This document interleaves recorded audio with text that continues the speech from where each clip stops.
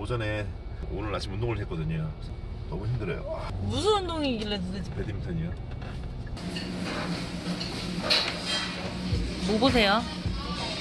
메뉴를 국수, 태국국수랑 이고기 쌀국수, 천만꿍이라고 새우로 만든 이 그렇게 카오판, 파인애플 볶음밥 시켰습니다.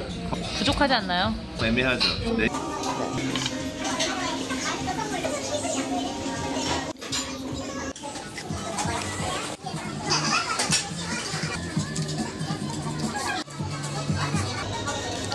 누가 다 먹었어 이거?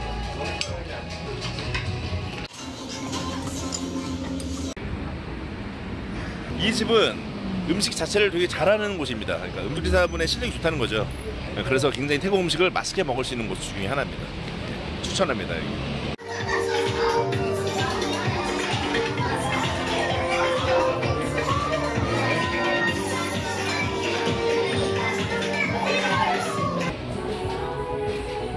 빨리 와 뭐해?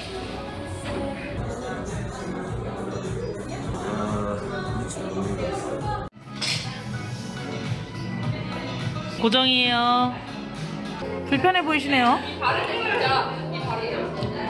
맛있겠다. 기대되잖아요? 네 기대돼요. 아 아니 죄송한데 이거 아, 네.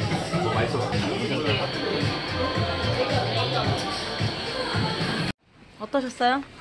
이게 뭐 레이어드. 레이어드 어, 크게 감은 없는데 괜찮은 것 같은데요? 지금 어디 가세요?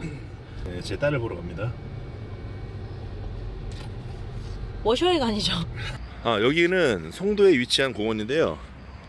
어, 굉장히 운치 있죠. 이렇게 건물도 있고, 어, 저기 뭐 포스코 건물도 있네요. 저기 높, 60몇 층인가 그런 것 같은데. 70층인가?